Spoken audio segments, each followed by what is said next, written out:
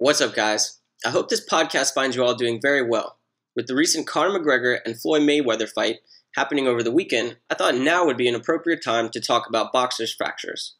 So, quickly, before we do, let's go over some anatomy of the hand. The hand is made up of 27 bones. You have your phalanges, metacarpals, and carpal bones. Your phalanges are comprised by 14 bones and are further broken down into distal, middle, and proximal phalanges except for the thumb, which only has a distal and proximal phalanges.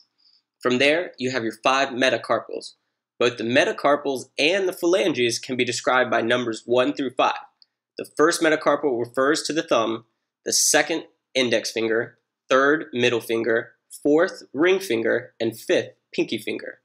And then you have your eight carpal bones. So now we know the basic anatomy of the hand, but what is a boxer's fracture?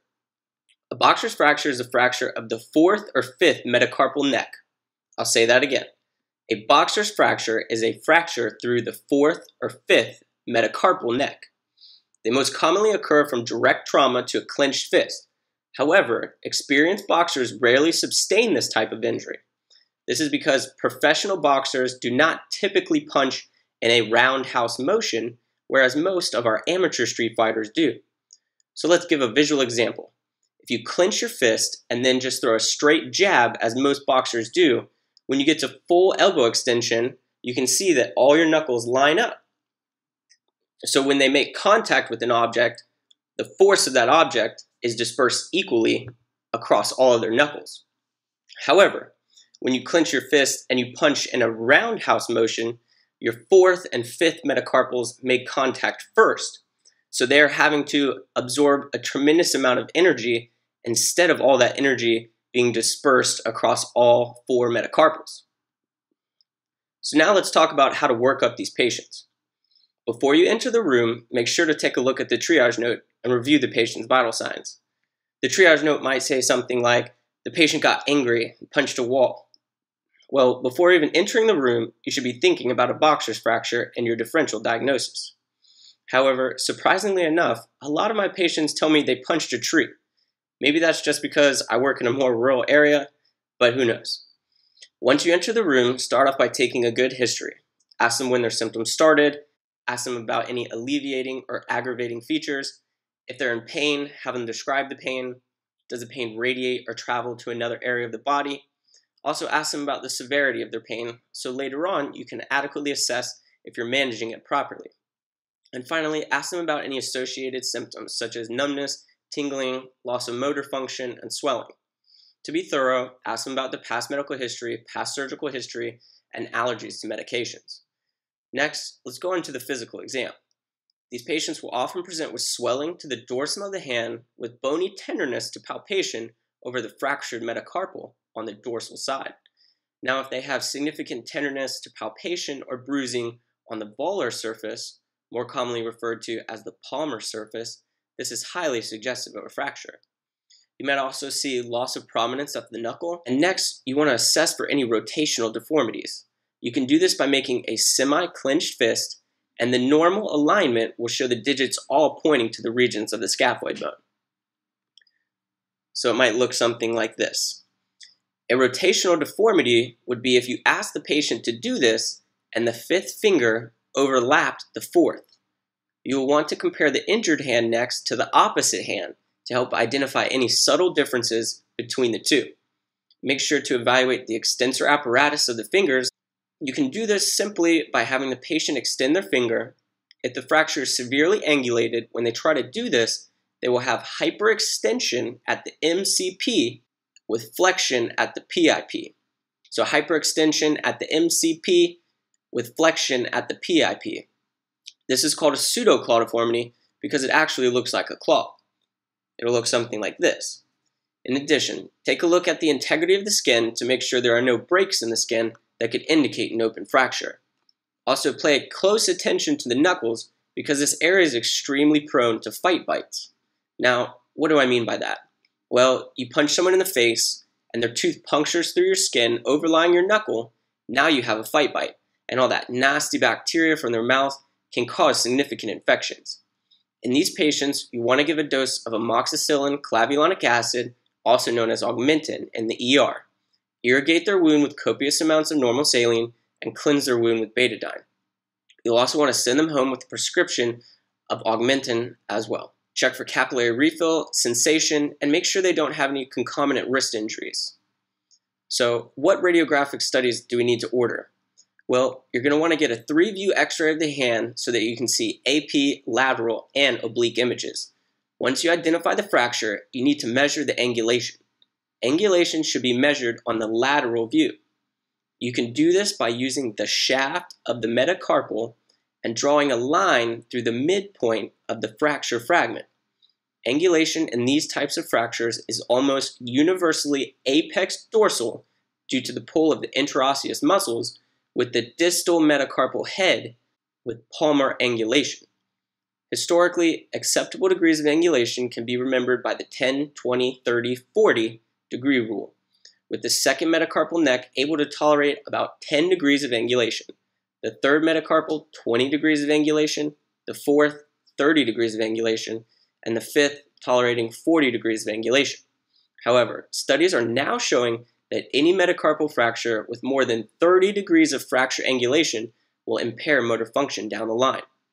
So I think it's reasonable to update the old rule to 10, 20, 30, 30. So how do we treat these patients? Well, if you do not have unacceptable degrees of angulation, simply immobilize the patient in an ulnar gutter splint and have them follow up with orthopedics. However, if you have a patient with an unacceptable degree of angulation or they have some pseudo clawing, you'll need to do an acute reduction in the ED. Effective anesthesia can be achieved with a hematoma block. This can be done simply by cleaning the skin first with betadine or chlorhexidine. Then, with a 12 cc syringe and 23 gauge needle, inject about 5 to 7 cc's of 1% lidocaine without epi or 0.5% marcaine without epi directly into the fracture hematoma on the dorsal side.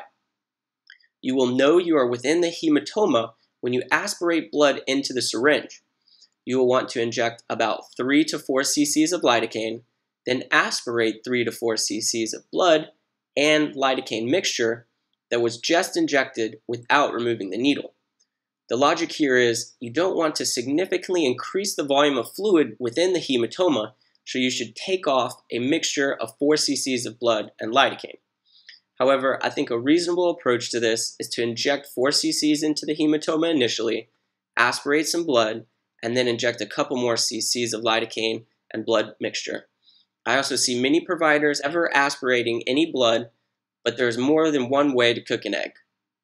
After you have successfully anesthetized, wait about a minute for the lidocaine to take effect.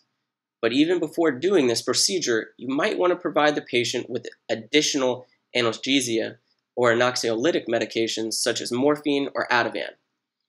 Reduction can be done by the 90 90 90 method.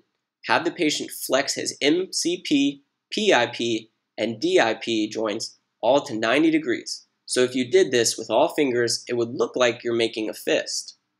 Then apply axial pressure to the flexed PIP joint while at the same time applying a downward pressure over the fracture site.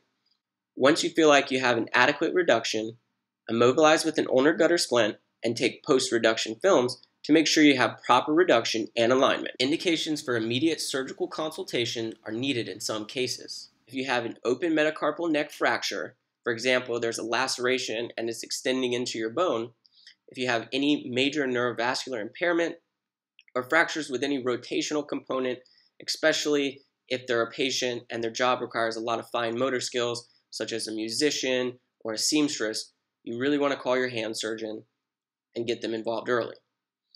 And finally, how do we disposition these patients? Make sure to tell all patients about compartment syndrome and the signs and symptoms to look out for. Also, be sure to document in your chart that you have given compartment syndrome education. Tell the patient to ice, elevate, and provide adequate pain medicine. I typically prescribe Norco 5325 which is a combination of hydrocodone and acetaminophen for most of my fractures, but you may have to prescribe something stronger depending on your patient's pain tolerance. So that's everything you need to know about boxer's fractures. Quickly, let's go over the main points rapid fire. A boxer's fracture is a fracture of the fourth or fifth metacarpal neck. They most commonly occur from direct trauma to a clenched fist. Before you enter the room, take a look at the triage note and review the patient's vital signs. Once you enter the room, start off by taking a good history. On physical exam, these patients will often present with swelling to the dorsum of the hand with bony tenderness to palpation over the fractured metacarpal on the dorsal side. If they have significant tenderness to palpation or bruising on the palmar surface, this is highly suggestive of a fracture. You might also see loss of prominence at the knuckle. Next, assess for any rotational deformities. You can do this by making a semi-clenched fist, and the normal alignment will show all the digits pointing to the region of the scaphoid bone. A rotational deformity would be seen if you ask the patient to do this and the fifth finger overlapped the fourth. You will want to compare the injured hand to the opposite hand to help identify any subtle differences between the two. Make sure to evaluate the extensor apparatus of the fingers as well. You can do this by simply having the patient extend their finger, and if the fracture is severely angulated, when they try to do this, they will have hyperextension at the MCP joint with flexion at the PIP joint. This is also called a pseudo-clawing deformity because it looks like a claw. In addition, take a look at the integrity of the skin to make sure there are no open fractures or fight bites. If your patient has a fight bite, give your first dose of amoxicillin clavulanic acid, also known as Augmentin, in the ER. Irrigate their wound with copious amounts of normal saline and cleanse their wound with betadine. You will also want to send them home with a prescription of this medication as well. Check for capillary refill, sensation, and make sure they don't have any concomitant wrist injuries. You should order a 3-view x-ray of the hand so that you can see AP, lateral, and oblique images. Once you identify the fracture, you need to measure the angulation. Angulation should be measured on the lateral view. You can measure this by using the shaft of the metacarpal and drawing a line through the midpoint of the fracture fragment. Angulation in these types of fractures is almost universally apex dorsal due to the pull of the interosseous muscles with the distal metacarpal head with palmar angulation. Acceptable degrees of angulation can be remembered by the 10, 20, 30, 30 rule, with the second metacarpal neck able to tolerate 10, third 20, fourth 30, and fifth 30. If you do not have unacceptable degrees of angulation, simply immobilize the patient in an ulnar gutter splint and have them follow up with orthopedics. However, if you have a patient with unacceptable degrees of angulation or pseudoclawing, you will need to do an acute reduction in the ED. Effective analgesia can be achieved by a hematoma block with or without morphine or benzodiazepines. Reduction can be done by the 90-90-90 method. Indications for immediate surgical consultation are needed for open metacarpal neck fractures, any major neurovascular impairment, or fractures with any rotational component especially if they're musicians or seamstress. And finally, make sure to tell all patients about compartment syndrome and the signs and symptoms to look out for. Also, be sure to document in your chart that you have given compartment syndrome education. Tell the patient to ice, elevate, and prescribe adequate pain medicine. Well, I hope you guys found this useful. If you have any questions or comment, do not hesitate to email me at gray at physicianassistantboards.com. That's G R A Y at physicianassistantboards.com. Until next time.